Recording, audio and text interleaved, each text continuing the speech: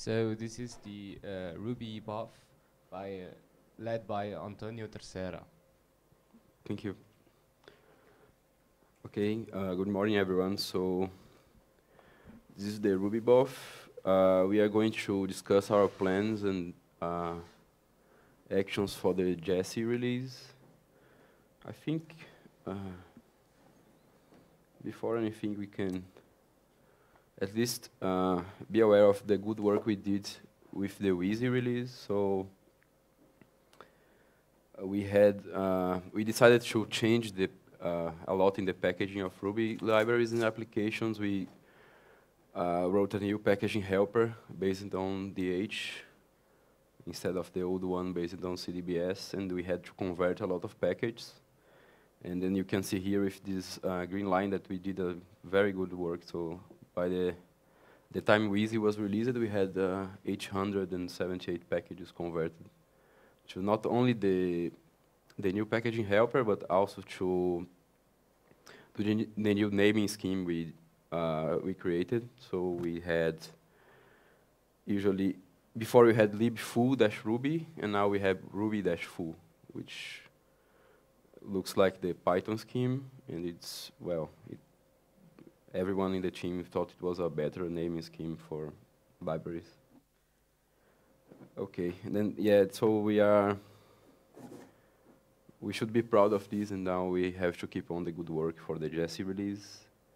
So now we, uh, Cedric created a nice uh, to-do list for the Jessie release, and then I, I organized that page in, in terms of uh, status, uh, what's the item that has to be done, and then we are going over each item here in this BOF and try to get uh, volunteers to carry the work and, uh, and discuss briefly each item. So when we do, when we say uh, volunteer to carry the work, doesn't does not mean that the person has to do all the work by by themselves. It's just the one responsible for making sure it happens. So it's more than encouraged to for people to seek help for each task of those.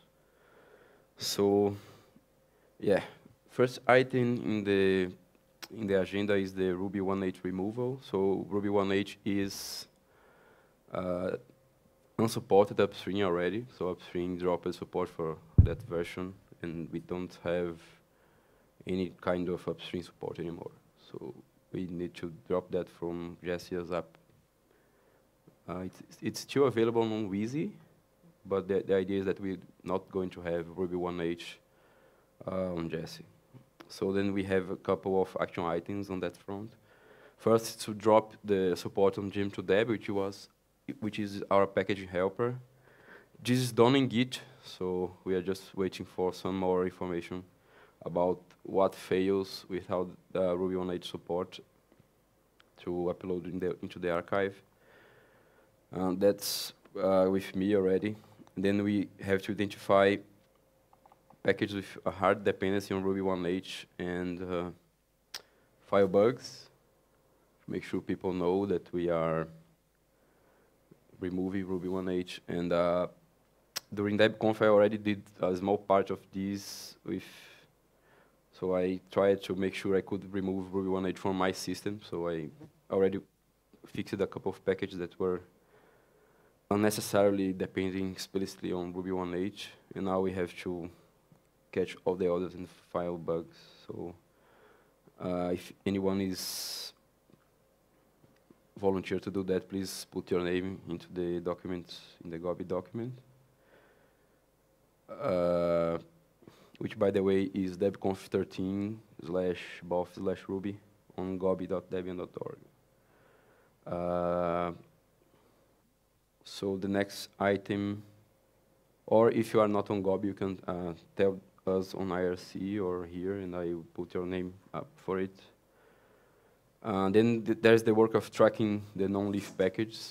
So stuff that is central to the archive, like, like uh, libselinux has a Ruby binding, so obviously we can't remove libsc Linux. Uh, the KDE bindings are still building only for Ruby 1.8, so we, we, have to make sure that we don't uh, make sure that those packages are fixed, and then if there are only uh, leaf packages left, we can just request them to be removed if nobody fixed them in time.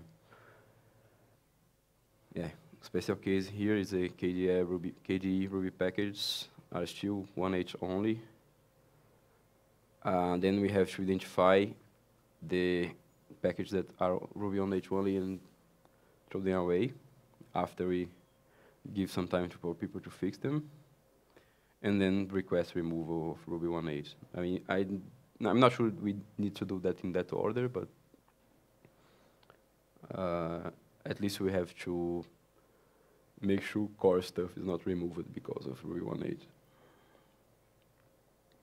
So one idea here, one uh, that I would like opinions, is whether we want to add Lintian checks for packages depending uh, explicitly on, on Ruby 1.8 or even in specific Ruby versions. So we should, at this point, we should not be, maybe we should not be allowing packages that require a specific Ruby version to work. So any opinions on that? Get the microphone. Maybe the depends on Ruby 1.8 should be a Lintian error and depends on a specific Ruby version should be a Lintian warning or something. Okay, that's yeah, that's that sounds good. We should also add a Lintian check for the old naming uh, schema.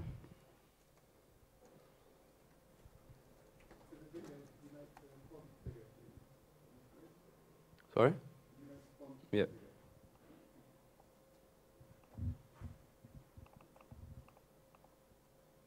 that all right? I hope it is. Yeah, that's messed up the table a lot, but okay.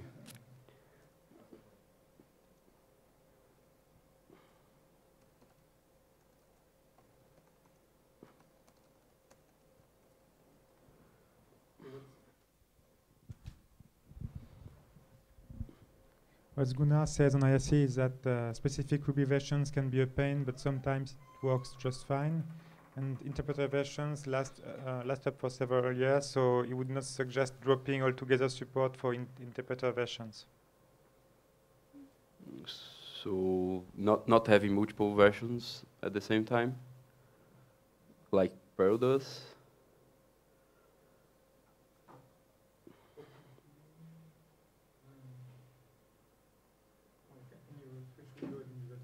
Yeah.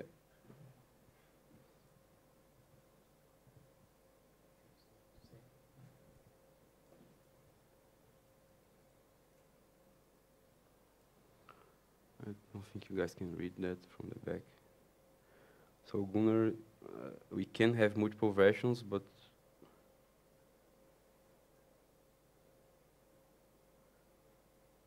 yeah, okay. So if a package depends on Ruby 191 only, we should not drop it.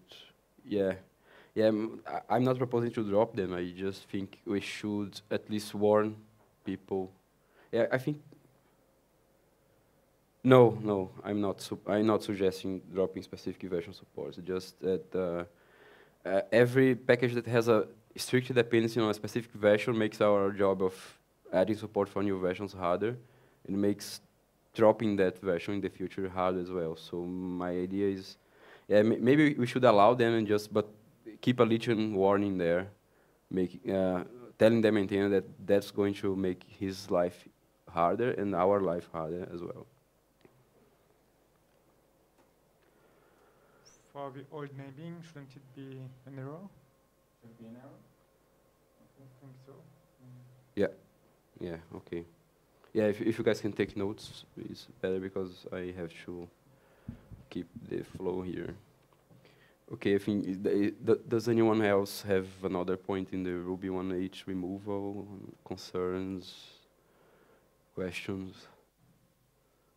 I think it's clear that we, we can't maintain it anymore, right? So.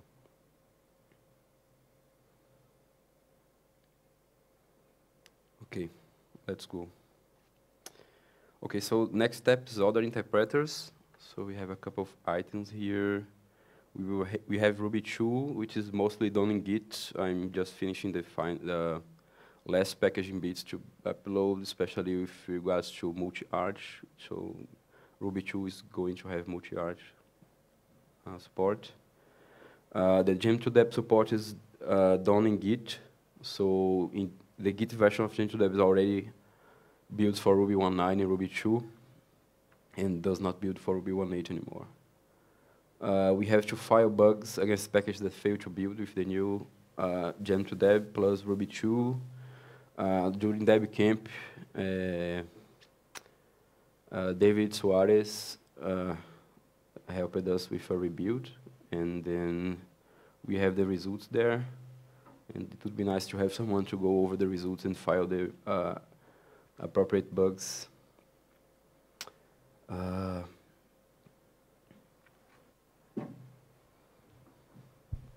So one question about that is what is the state that we want in Jessie? Do we want Ruby 2 plus Ruby 193 or do we want only Ruby 2? Okay.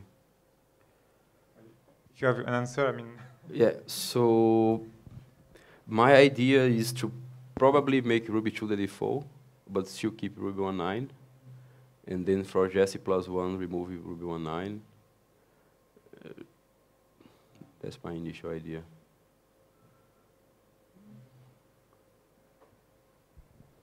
I don't know how long um, Ruby 1.9 is supported by upstream for security support reasons. my impression is, was that uh, Ruby 2 was closer to Ruby 193 than Ruby 993 from Ruby 1.8. So it might make sense to just uh, drop it as soon as uh, we have reasonable Ruby 2 support. It makes our life much easier also for the uh, for stable release. uh, Mhm. maintenance. Well, the, then the problem is uh, we don't have a freeze date, date yet, but it's likely to be not too far away actually. Yep.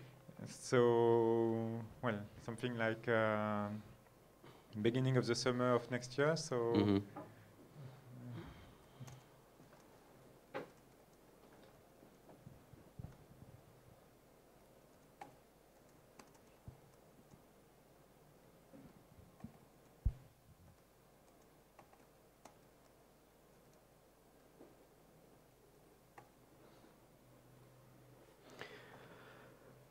Okay.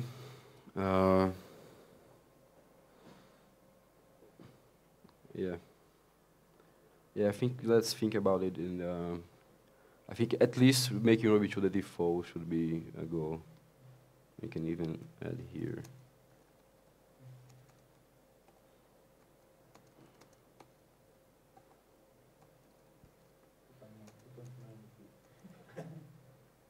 Hmm? Okay. Uh, okay, we stopped. Okay, after the filling the filing the bugs, uh, we have also tracked the track bugs against packages that fail to build from source within Ruby 2, which shouldn't be too many. Uh, from this rebuild we did, uh, we had 500 something packages and more or less 100 failed to build, but I suspect that most of them was because the lack of Ruby 1.8. So because uh, the difference between Ruby 1.9 and Ruby 2 is a lot smaller and than the, between Ruby 1.8 and Ruby 1.9, so the transition should be a lot smoother.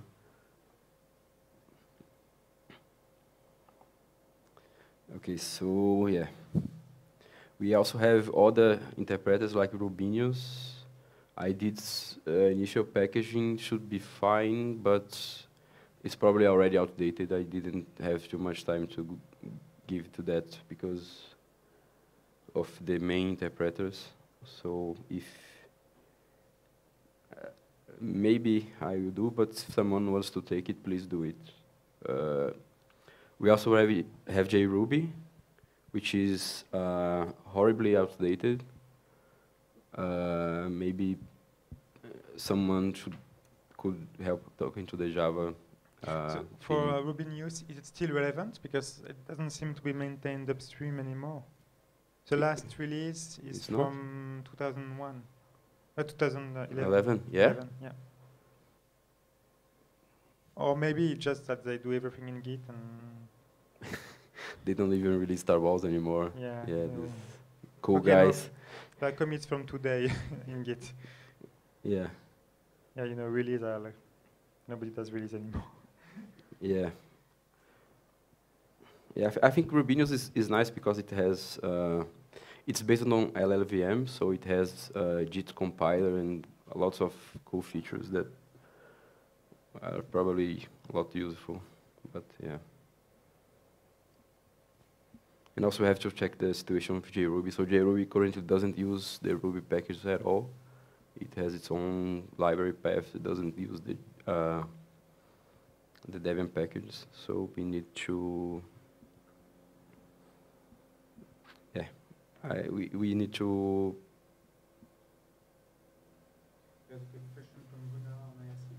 okay.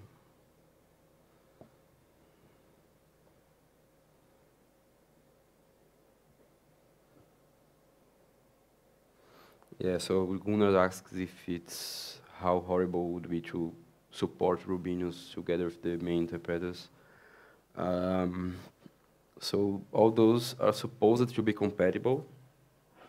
So actually, the Rubinius guys were the guys who started uh, Ruby Spec, which is kind of a unit test for Ruby implementations, which is a, a the main Ruby implementation also uses that today. So it's supposed to be compatible, so we should not have any problems, even with, with C extensions. So the API should be the same, and it should work. So as long as someone does the work, I'm not sure if I'm going to be able to do it, but as long as someone does the work, it should be maintainable.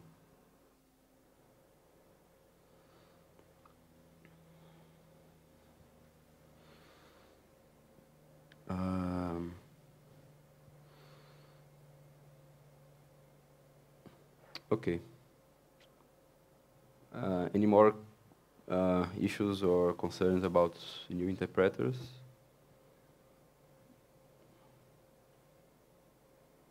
So Dave, David Suarez is actually interested in JRuby and is going to take up that work. Nice, thank you.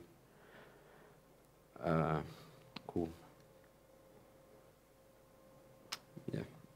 Yeah, next up is to finish the transition. So we, we did a, a really good job, but we didn't, we were, weren't able to do uh, transition of all packages. So there are still packages building with the old packaging helper and using the the old naming scheme of libfoo dash ruby and we have to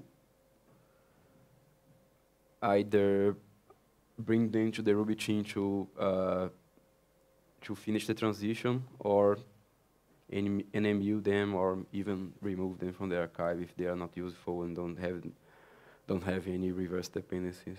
So it would be nice to have someone to look at it, at that. And also, we at this point we should probably publish actually publish our policy, which was written and it should be fine. But uh, we never went into the trouble of actually publishing it somewhere in the Debian.org website or something. It would be nice to have someone also to look at that, but. Uh, Yeah, so yeah, we are using DocBook and that stuff, and I think there are a lot of lots of better options for writing in a maintainable way. Yeah. Any comments on this item or finishing the transition? Any doubts? Any questions?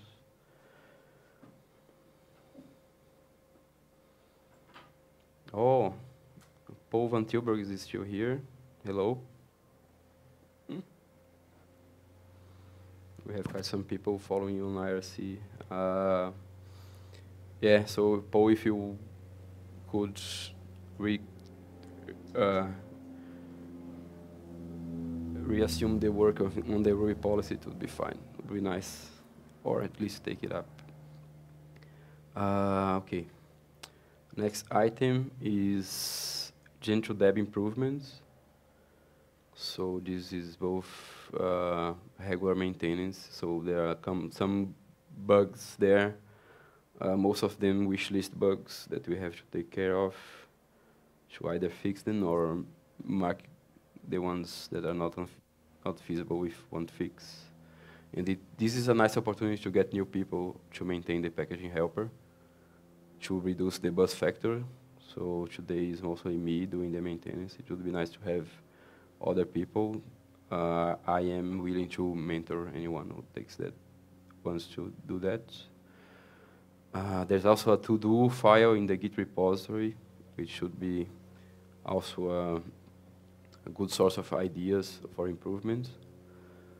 Uh, there is a low-hanging fruit to integrate auto package tests and have our packages uh, with runtime tests. So currently, Gem2Deb will run unit tests uh, against the built package, but we can, with a very small change, we can make it run against the installed version. So you would gain uh, support for auto package tests and the, the entire infrastructure that's going to be created around that for automatic test migra testing migrations and stuff like that. And uh, we also help QA a lot. So, uh, well, I, I, am willing to mentor anyone who wants to do anything Gem2Deb. Uh, we also have here another item, automatically build and ship developer docs. Yeah, it's a nice feature as well, so anyone. Uh, if nobody takes it, I probably end up in my hands, but it would be nice to to have people to, to help with that. Uh, does anybody one has another has other wishes or complaints against Gem2Deb?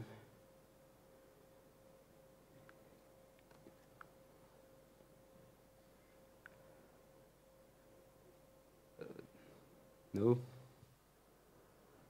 Okay. Uh, okay, now we have some more social items, not so much uh, technical ones, but still stuff we need to do.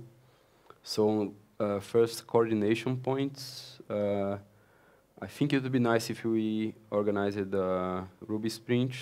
I uh, maybe not periodic, but at least one sprint, uh, uh, some reasonable time before the freeze, so we can actually do uh, important changes. Uh, so uh, Lucas suggested doing together with FOSDEM, um, close to FOSDEM. We also have the recent, recently announced UK mini DebConf, so we maybe could do that there as well. And uh, we would, is there someone uh, willing to organize that? No, not you, but uh, I think the in Paris is usually uh, the place that uh, takes sprints, right?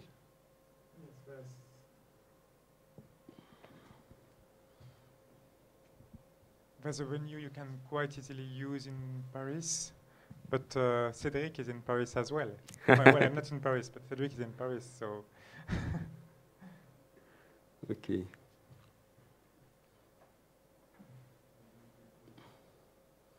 Anyone volunteers to organize a sprint? Well, let's let, okay. For a, sprint, for a sprint to be efficient, we would have to focus on something. What, what do you have in mind? Um, okay, probably making sure everything works with Ruby 2. So right now we have we have 100 packages that fail with without Ruby 1.18 with Ruby 2. And then once we we know exactly what's the situation, then we can probably uh, focus on making sure stuff works with Ruby 2. But uh, I also think that the volunteer who takes up this task should also uh, propose a focus, and I think we can uh, right now I don't know exactly what the focus should be, but I think in uh, one or two months we, will be able to know what we need, we, what would be helpful to focus on in this sprint. Are you volunteer to organize? I mean, I, I could, uh, depending on when. But Paris is not the best for me, but I can. I mean, like it's it's. Yeah, I think uh, organizing involves uh, deciding on the play on the venue. So Yeah, yeah, I know, I know. Then bugging people. yeah, yeah. death, It's, mo- it's mostly I can also coordination work and, and yeah, uh, yeah, it's, it's uh, making sure uh, uh, figuring out how how many resources we need to fly people there or to, I mean for myself it has, it has to fly to be flying because there's no other way to cross the Atlantic but yeah Or as Gunnar says on IRC, that we have a non uh, geo-centered sprint. Yeah. So just meet on IRC during a week and yeah it could be that as well have focused uh, Yeah, uh, communication and Uh, development. that works but I think course. presential meetings a lot more uh, productive but yeah also for real it's like i can if i'm with people walking on ruby stuff i can like focus on ruby stuff otherwise there's all my life and so many volunteer stacks you know Yeah, bugging yeah, you every single day. Come on fix this server. Yeah. do that so. I'd rather i mean if, if it's like like if half of the people can can meet in paris and we can fly you over to paris then i mean let's do that. Yeah.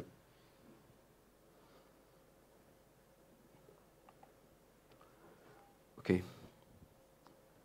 Uh, next item is organize uh, monthly meetings. Uh, so yes, uh, two people already said that we need those. It would be nice, and I think we it's good to have. So and, and volunteers to do that to organize meetings.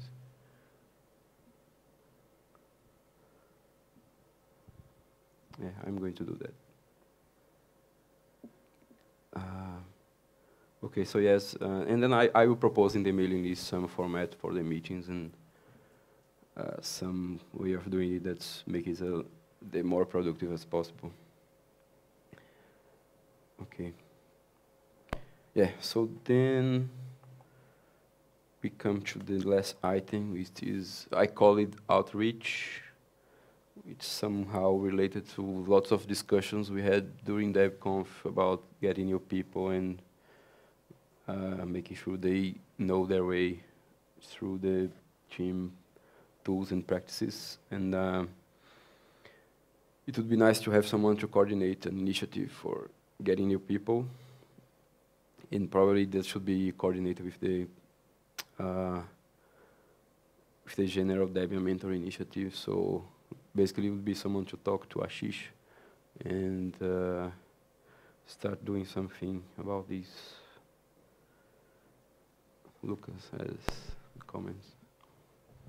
Yeah, so I, I think that for many of the things listed on that wiki page, uh, there are um, issues that, uh, well, it's easy to throw a lot of quite inexperienced people at them. Uh, so yeah, we should clearly try to get people involved through that process. And it, worked quite well in the past. If you look at the Ruby team three years ago, uh, it's great to see that there are, I know, something like 12 people at, uh, on the on the Gobby document. Yeah, nice. Yeah. Yeah, I think I feel that uh, at least uh, reviewing package today is under as uh, little manpower than it had before.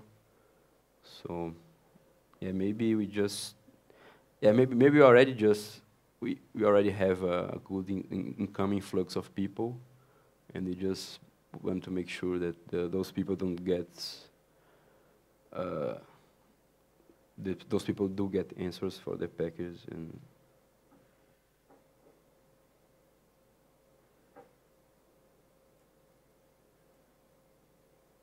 yeah yeah Cedric saying that we already have many RFS mails on the list yeah yeah you guys are right maybe we should we just need more people to review package so even those who are not DDs yet can do that. So please, if you already maintain packages, and uh, please help. Uh, please help with that.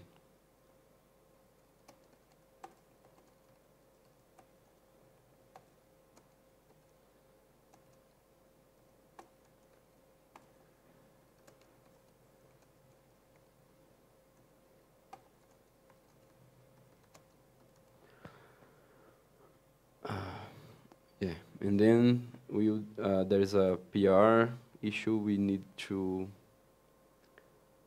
Uh, yeah, maybe uh, do some PR about the state of Ruby in Debian. I was just, uh, I, me and Lunar were discussing this during the hike about, uh, and then I, I had a crazy idea of creating a, a live live slash install DVD to demonstrate Ruby on Debian. That that would come with a basic desktop system, or depending on the level of bike shedding, we could do one for each major desktop system, uh, and then coming to coming with already everything you need for developing Ruby. So good uh, text editors, all the tools, Rails, and everything. And that and that that's also somehow influenced by the the talks about uh, blends and how they help bring people. I think the Ruby team already has some history of bringing people into Debian, and then maybe that could also help. I don't know if there's someone willing to do that.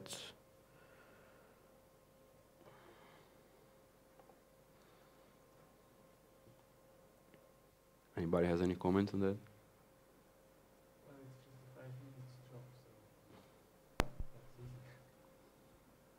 It's just a five minutes job. You just need to know what packages you want, and that's it. And the rest you can clone the uh, official image configurations and just add your packages, and you're done. So, if you know if you know what packages you want, you can just tell me, and I, I'll help you along. So. Okay, cool. But uh, yeah, but then the question: uh, Will people actually use that? Do you think? Uh, I mean, we need to tell people that that exists, and then we have to make sure uh, people. Yeah, because uh, today when someone asks how to uh, use Ruby on Debian, depending on where you ask, they will say use RVM and install everything from source. And I don't know if if we care enough about people doing that or.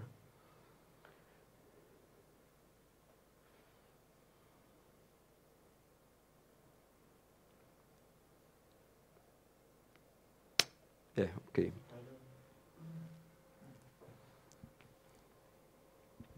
Uh, I'd rather, I don't know, I'm one, one communication channel, I don't know how many people read it, but I do. The, there's someone like doing a Ruby weekly news letter. So, sorry, can you say that again? Someone is doing a Ruby weekly newsletter, Uh huh. Yes. uh, and I'd rather try to, um, I don't know, can come up with a, a series of blog posts and try to have that covered in the Ruby weekly news, saying, hey, Yeah. Come on, we can use Ruby on Debian, or maybe uh, you could show, probably some could show the Ruby integration stuff, which is kind of neat, Mhm. uh, and is often completely overlooked. Uh, that's, I mean, it's not, it's not, because because the, the DVD I would not use it. So uh, usually what I do when I want to test Ruby package is take a live and use packages from the archive. Mm. So I'm not sure like embedding the packages, at least for my use cases, is not really interesting. hmm I don't know. Yeah, yeah. My my thinking about that was, uh, I, I am subscribed to the Rails Brazil mailing list, and there is a lot of people who go there without any idea how to start using Ruby. So if those people have a DVD image to just install and everything is there already, instead of messing with RVM, RubyGem, everything, maybe that would be a good way to to get people coming. I mean, not to people coming to the Ruby world to, to know that they don't need to compile stuff from source. They can if they want to, but they don't need to. And so I, I don't have uh, hopes of converting the people who are already lost, but at least making the new people not go to the dark side would be nice. I mean, and I don't know also how much I- I've I've yet to read a good, comprehensive, short critique of RVM and why, you know, the problem it has. Because it ha- I mean, the approach of virtualenv for Python or, or RVM is, I mean, problematic to me. I don't know Yeah, because of at least for upgrades and all. But Yeah, I, I'm not sure if I want to go into the into criticizing RVM. I think I think uh, people who use operating systems that don't have proper package managers, RVM is perfectly fine for them. So I mean, it's maybe the the best solution for them. It's not for people who use Debian because we do have a reasonable package manager. So. Uh, in the past, RVM did things like redefining the CD built-in in the shell. I think they don't do that anymore, but that's a detail. So that was, they did some things in a very invasive way. It's not, I think it's not the case anymore today, and I don't think we should go there. We just have to advertise the good points about Debian that people choose. Less trolling then. Yeah.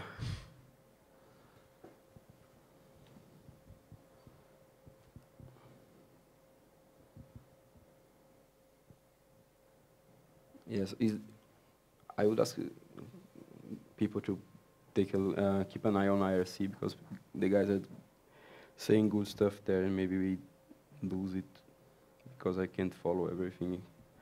Uh, yeah. Um, just a comment I saw on the briefly on the screen when you switched to IRC. Someone was saying about tasks. Um, this one I find very important uh, that the Ruby team should have really good task. A uh, task in the installer, Oh, I mean? yeah, Okay. Not just in the installer. I mean in general. If it then shows up in installer, that's another thing. But so that you can like get can install task Ruby or whatever, or Ruby development, or Ruby on Rails or whatever, and you get all the stuff that you're supposed to get. Okay. Um, I didn't know you want you were uh, thinking about a live DVD or whatever, but having a task uh, would be much more uh, nicer than the images. So, okay. And if you then want to do an image of it, then that's yeah, very simple anyway.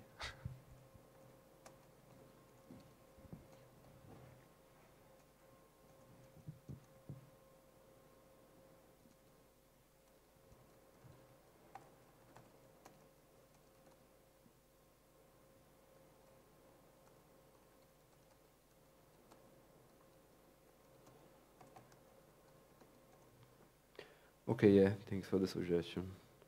So we are close to the end, and we have six minutes left. Uh, one question uh, from Lunar about how to handle jQuery embedding in docs. That's a very good question. I think lots of packages have this problem. And uh, do you guys think we could uh, work out a way of having that handled automatically by Gem2Deb? Per, I think you volunteered for the automatic documentation generation. Do you have an idea about that? I don't understand the multiple versioned since they're generated. Okay. I suppose just a Gunnar, can you explain about the multiple version uh, bit that you added?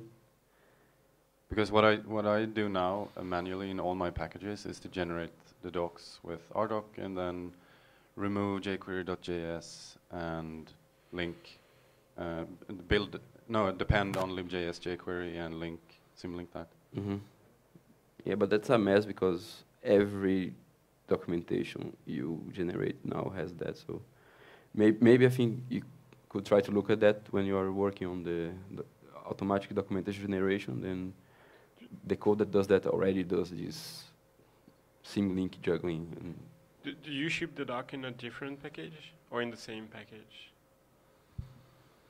I uh, broke them out to a separate package, but FTP masters thought that it was waste, so now they're merged into one package. Because then the problem is that we end up with having like you know f- a hundred pa- Ruby package, binary package with you know that doesn't have anything related to jQuery at all, but which depends on jQuery just because of doc, and that's pretty stupid. So it makes sense to have a separate doc package. At least more sense. Maybe.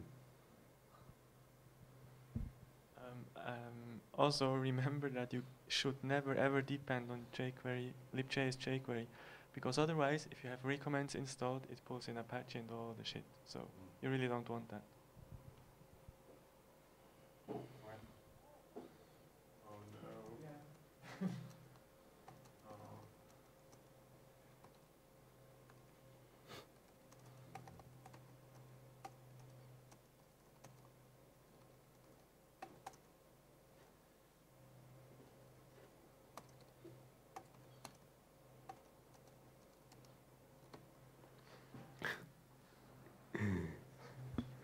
Yeah, that's yeah. So I think If we have a few minutes left, I would like to ask you a question.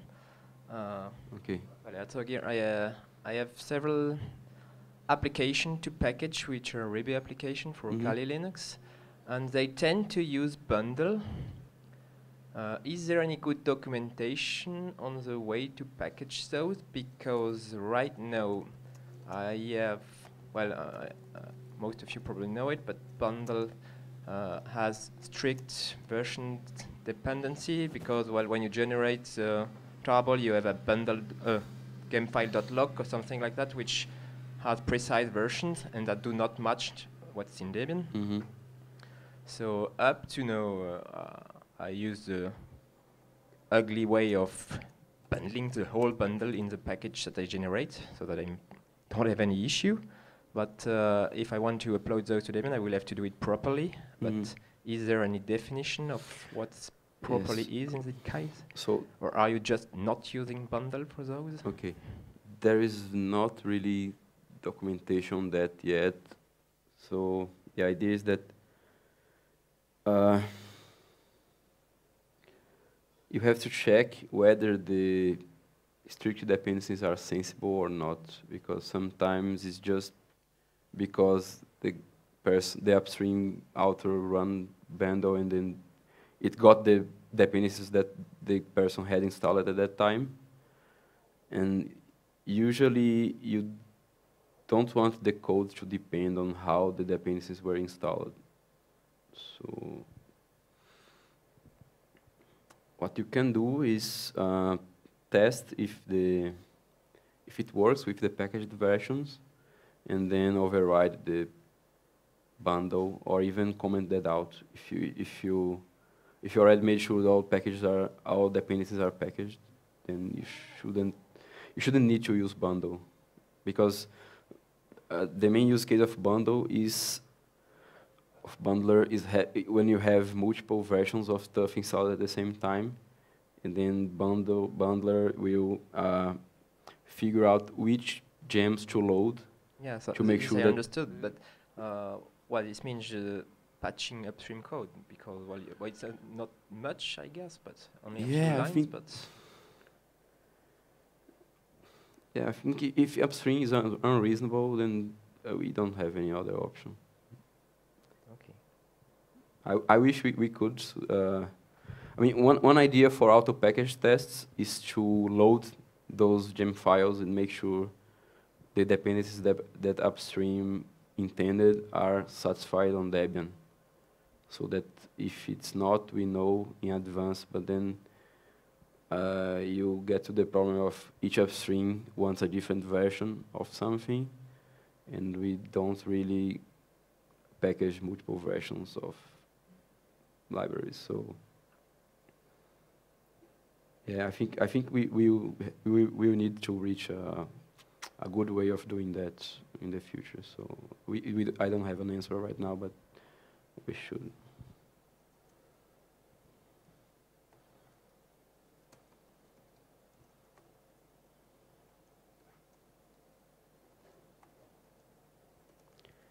Okay, I think our time is up and uh, we can finish here. Uh, thanks everyone. I think we went to the points that uh, needed attention. And uh, if any items has no volunteer yet, we will try to find volunteers for them. Thank you. Thank you, Antonio.